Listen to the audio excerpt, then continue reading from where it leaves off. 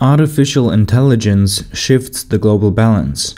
While the West is conducting ethics debates, one global power in the Far East is expanding its autocratic system with big data.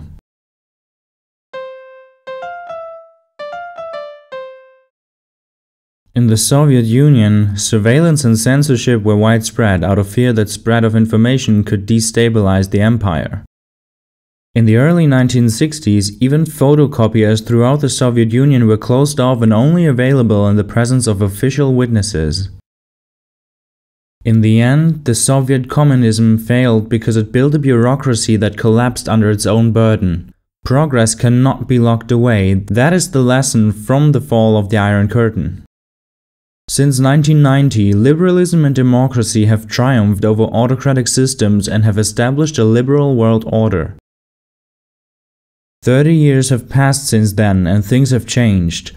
Shaken by the financial crisis and unsettled by the rise of populists, the West quarrels with itself. And now experts are analyzing future scenarios on behalf of the Pentagon. The crisis of liberal democracy coincides with a shift in power to repressive regimes, the scale of which we are just beginning to understand. The General Staff of the US Armed Forces has released a study these days that identifies a new ideological competitor of the West the digital dictatorship. Artificial intelligence and big data promise to reshape the world order, it states. Just as competition between liberal democratic, fascist, and communist societies shaped the 20th century, so could the struggle between digital liberal democracy and digital authoritarianism define the 21st century. Artificial intelligence makes totalitarianism competitive again in the battle for systems by drastically reducing the cost of surveillance. Digital dictatorships no longer need to lock up progress like their analog predecessors, they have the tools to exercise control without stifling creativity. Collective oppression gives way to selective bondage. China is currently building core components of such a system of digital authoritarianism. The Pentagon study estimated China's spending on internal security at $196 billion in 2018 alone.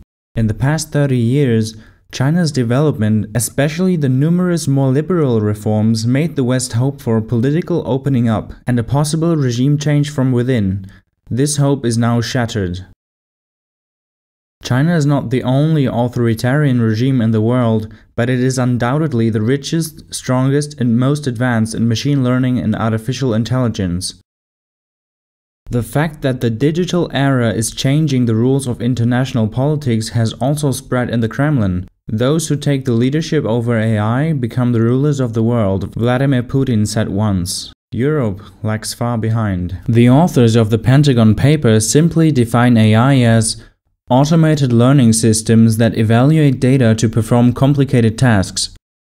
From a geopolitical perspective, the AI debate is about the development of repression technologies that solve the problem of the Soviet Union's failure that enforced order ultimately means stagnation because the surveillance apparatus buries social dynamics among itself.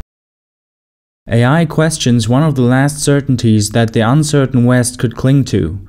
Only free systems of government could afford to allow social change. Only they are progress compatible, we thought.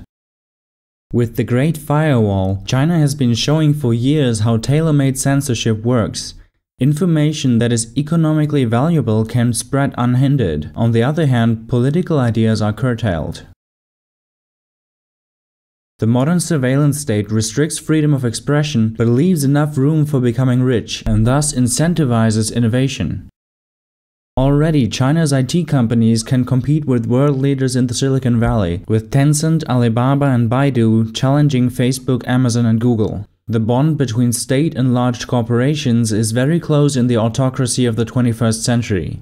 China's leadership calls its repressive vision society management, an Orwellian vocabulary as scary as its potential. Computer systems will probably soon predict the outbreak of unrest. The technical challenges are hardly more demanding than the computer assisted crime prediction, which is already being experimented with in Europe.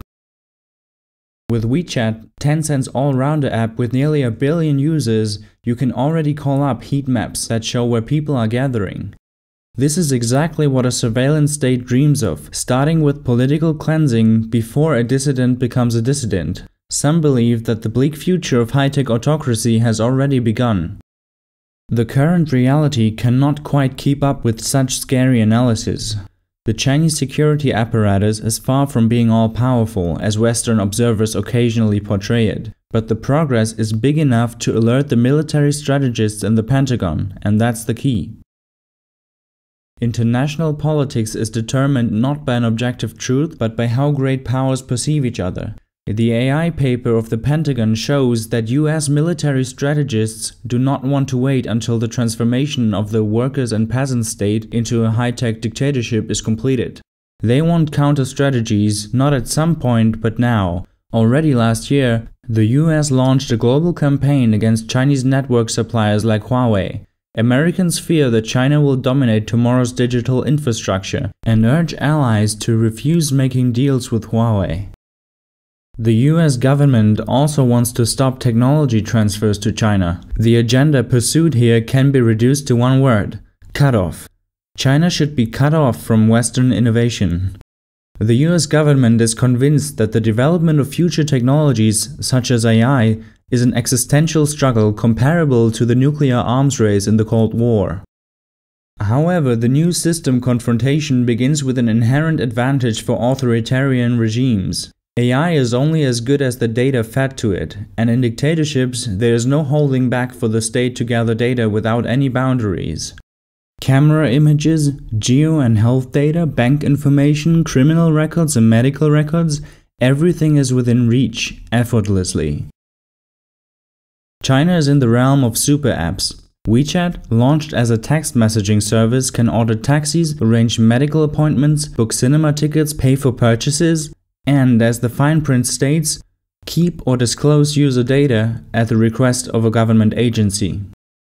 Meanwhile, in Europe and the US, there's the aftermath of the NSA affair. Lawmakers tighten data protection regulations, politicians call for the destruction of data monopolies.